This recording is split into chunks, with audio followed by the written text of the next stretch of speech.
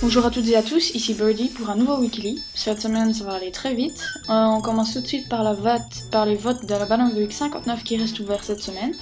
Donc euh, venez voter pour votre création préférée.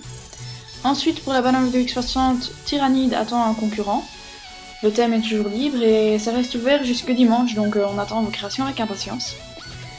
Cette semaine, vous aurez eu l'occasion de voir le tutoriel de Haralf qui explique comment il a créé son effet multicolore sur cette création. Et pour terminer cette semaine, on vous remercie d'avoir euh, remis, de la vie dans le sujet des quatre mots.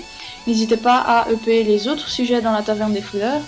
Et n'hésitez pas non plus à venir donner votre avis sur un jeu que vous avez joué ou que vous avez adoré, que ce soit récent ou ancien, comme, euh, comme, bah, comme je l'ai fait cette semaine.